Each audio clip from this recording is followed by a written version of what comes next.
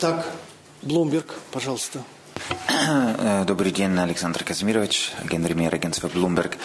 Эм, я хотел вас спросить, э, как можно избежать э, появления новых фронтов после битвы за Дебальцево? Американцы говорят, эм, что следующее место может стать Мариуполем. Как Россия к этому относится? Спасибо. Вы знаете, мы как-то вот немножко по-другому-то мыслим, после, особенно после достижения широких договоренностей в Минске. Речь-то ведь должна идти о разъединении сторон, об отводе вооружений, о постепенном движении к нормализации обстановки, к миру, к диалогу между конфликтующими украинскими сторонами. Вот, собственно, с этой логикой связано принятие важных договоренностей в Минске.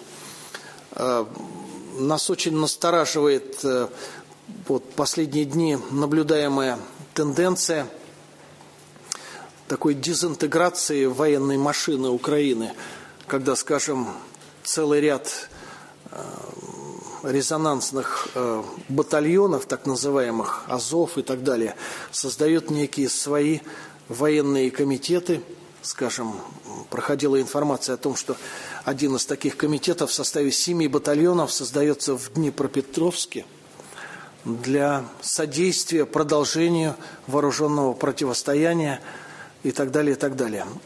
Это очень тревожно, и это идет совершенно в разрез с теми усилиями, которые предпринимает Россия – Э, совместно с нашими коллегами из Германии и Франции при содействии ОБСЕ по скорейшей нормализации обстановки э, на юго-востоке Украины.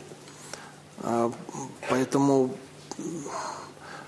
то, что вы сказали, это весьма тревожные симптомы, а особенно, особенно со стороны представителей администрации, если таковое действительно происходит, то э, это абсолютно противоречит тем заявлениям, которые мы слышим э, со стороны высоких представителей администрации США, которые активно поддержали э, Минские соглашения в пользу мирного урегулирования украинского конфликта.